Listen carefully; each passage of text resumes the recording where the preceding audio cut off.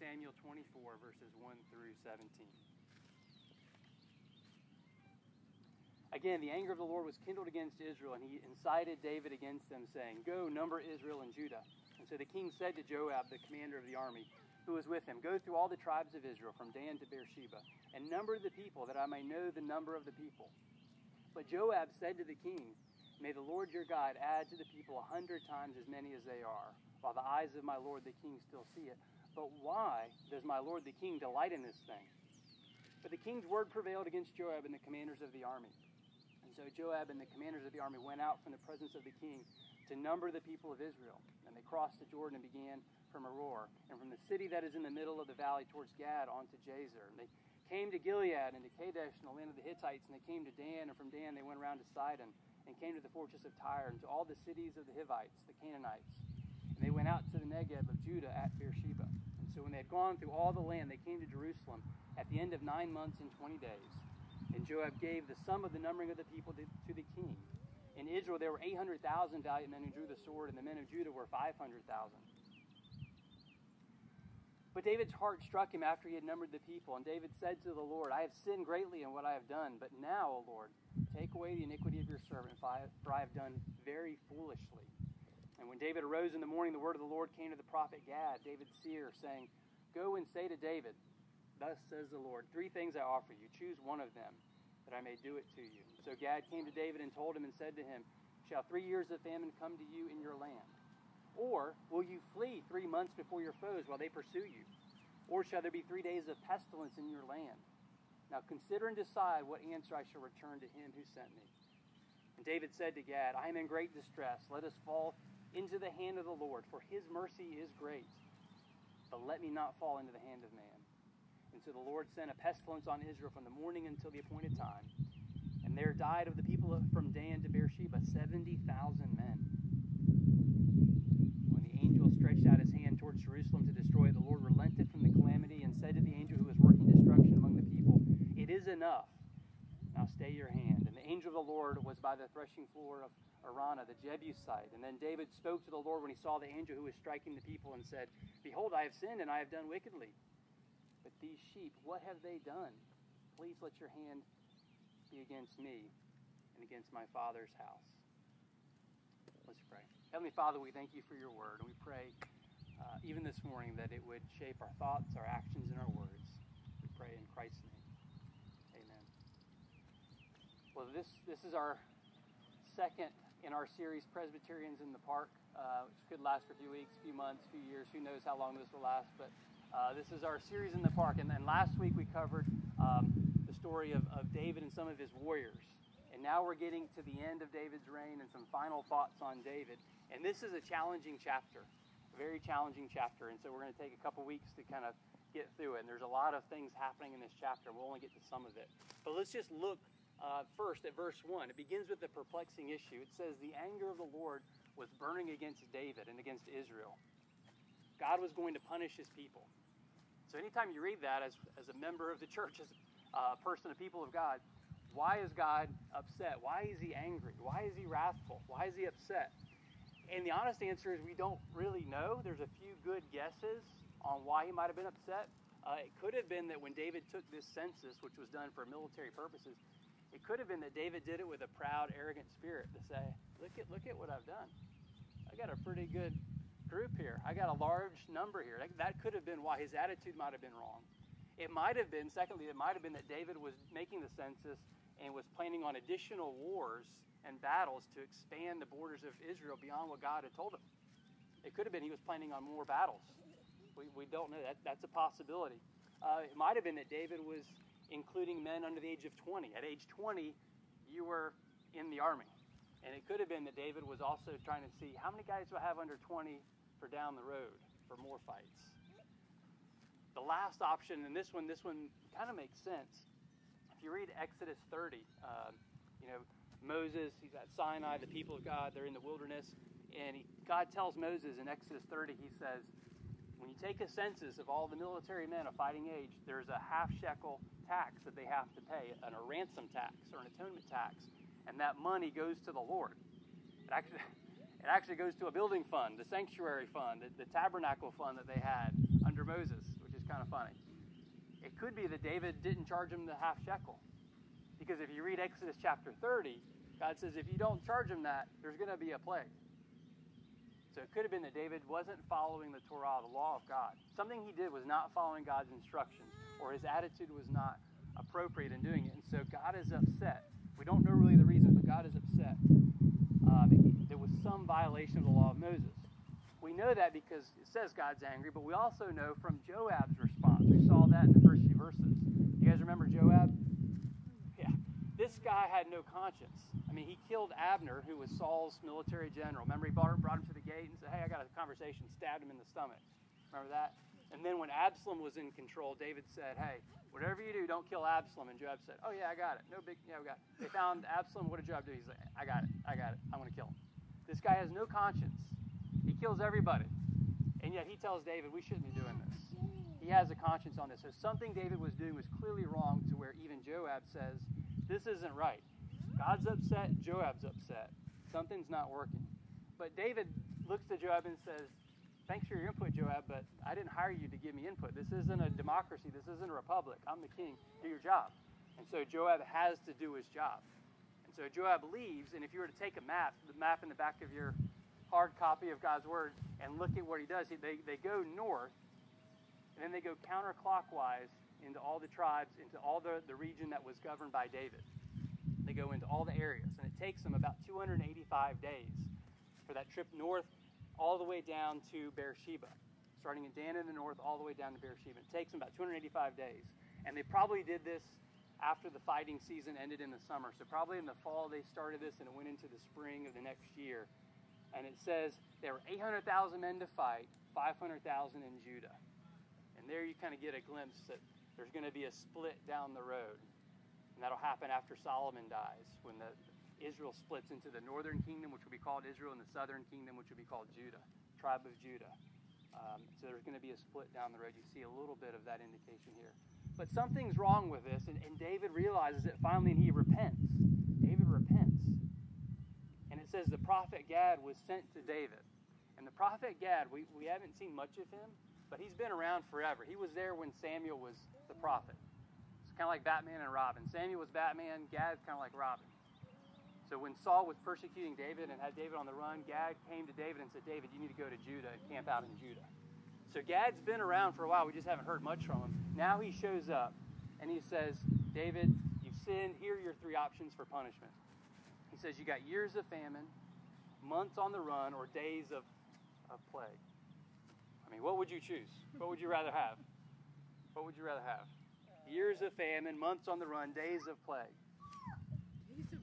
Days of plague. There you go, Renell. Renell opts for days of plague. Thank you, Renell. But do you see the pattern here?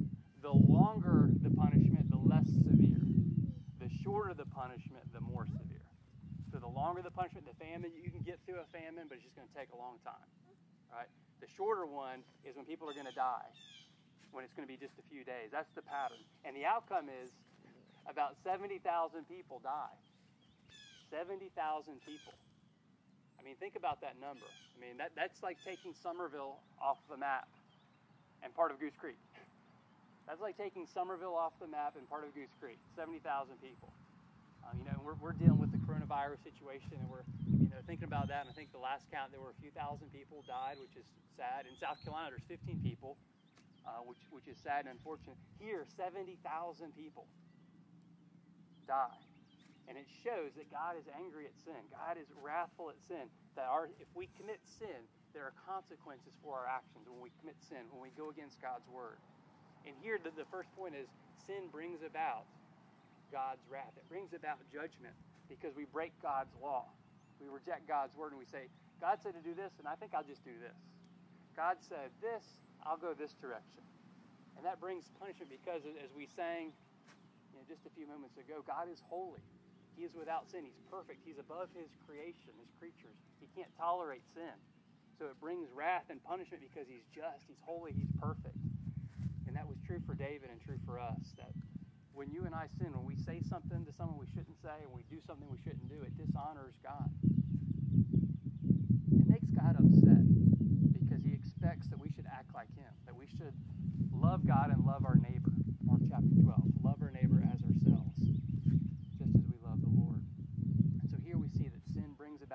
punishment brings about God's wrath. And it shows us that God isn't tolerant of sin. And that, that's really not a popular thing to say in, in our culture. It's not a popular thing to say in America or in the West.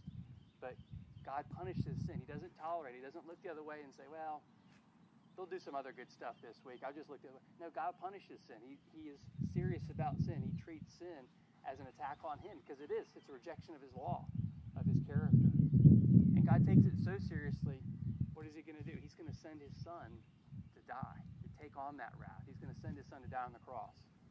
That's the heart of the gospel that God is upset with sin. He's going to punish sin. But instead of punishing you and me, he punishes his only son. And so here we see sin brings about God's wrath and his judgment. Uh, the second point here we're going to see is the mercy of God. The mercy of God. So we've seen the wrath of God. Now we're going to see the mercy of God. That God punishes sin, but he also shows mercy to everyone who repents. Look at verse 10. It says David David is getting ready for bed. So David, you know, you can kind of picture this in the, in his royal palace. He's saying goodnight to wife number 2, uh, goodnight to concubine number 7. He's trying to get ready for bed and all of a sudden in the midst of all that, the Holy Spirit convicts him of sin. That's the that's one of the ministries of the Holy Spirit to convict you of sin, to say, hey, you said something you shouldn't have said. You did something you shouldn't have done. And in the midst of getting ready for bed, that's what happens to David. And he, he repents. He says, I have sinned greatly. He says, Lord, I've acted foolishly. Take away my iniquity. And so there he is. He's repenting before he goes to bed.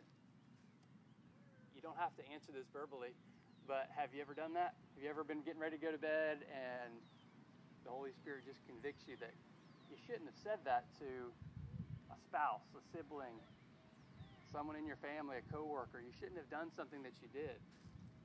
Or maybe it was a sin of omission. You, sh- you should have done something. You should have helped that person and you didn't. You should have said that to that person and you didn't. Has that ever happened this month, this week, maybe last night? We, we've all we've all done it. We've all done it, right? And that's what happens to David. He's getting ready, for, ready to go to bed, and he has a prayer of repentance. And then you can picture it. David goes to bed. He's repented. He gets up the next morning, gets on his royal robe, goes in, get in the kitchen, gets some coffee, and then there's a knock on the door in the morning. It's the prophet Gad. Gad shows up early, 6 a.m., knocking on his door with a quick response from God to David's prayer.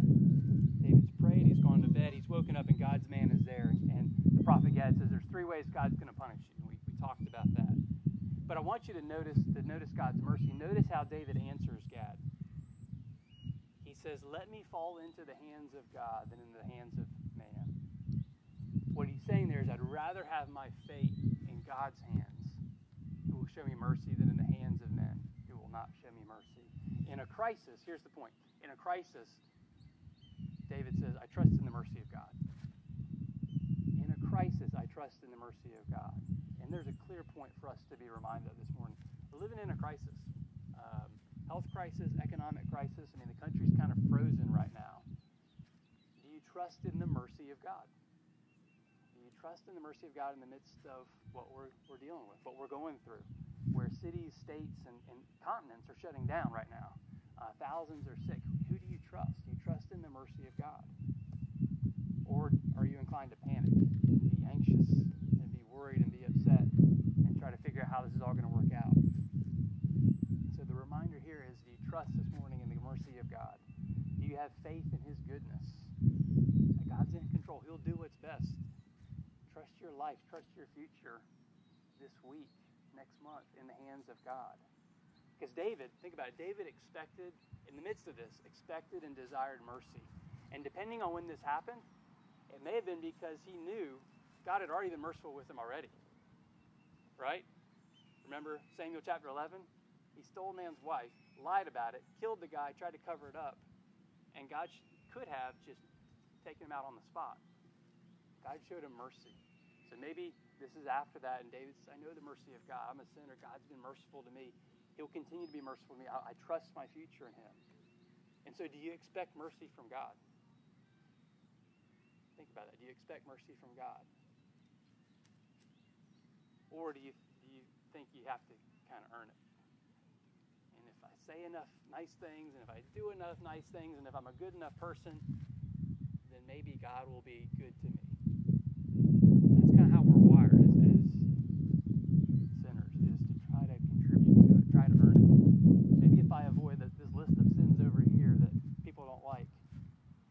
my best, and God will recognize that, and things will be good.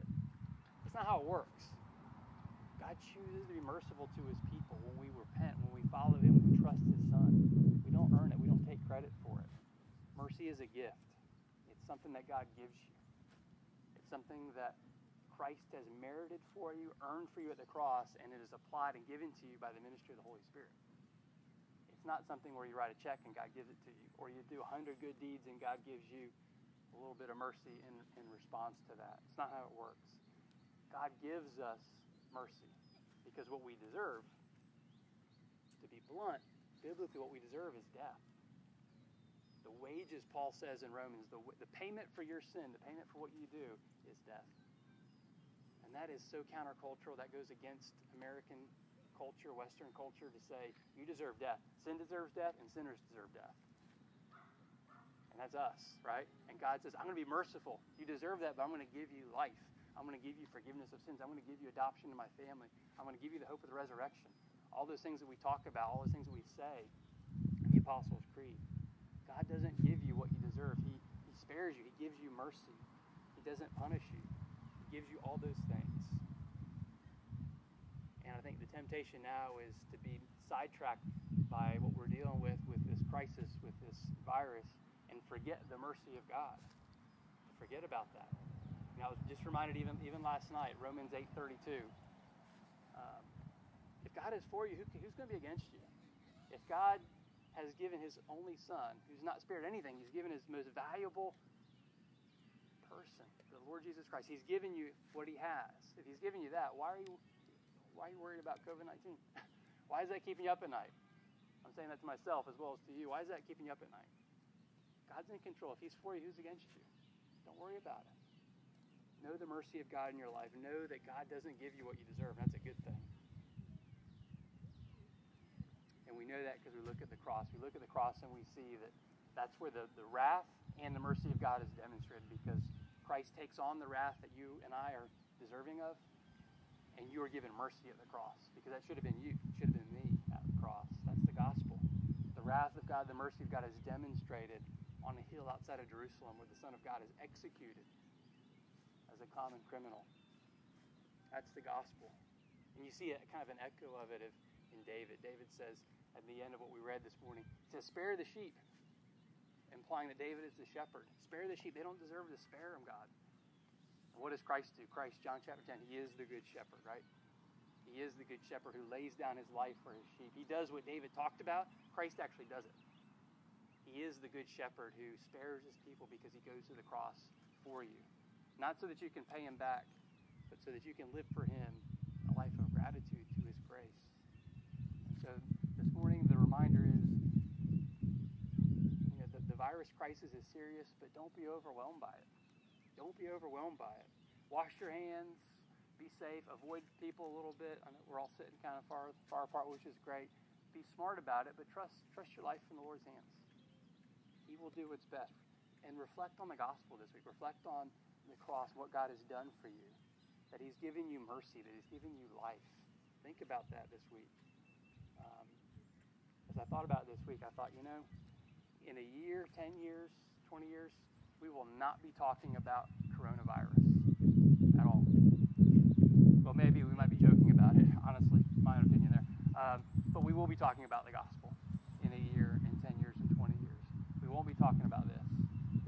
past. It might be a month, it might be six months, I don't know. Who knows? But we will be talking about the gospel. So this week, instead of being overwhelmed, anxious, or just bored sitting in your house, reflect on the gospel, reflect on the wrath of God on sin, that you deserve that, I deserve that, but also reflect on God's mercy to you and what He's done for you, what He has spared you from, which is really the punishment of sin, death. He's done that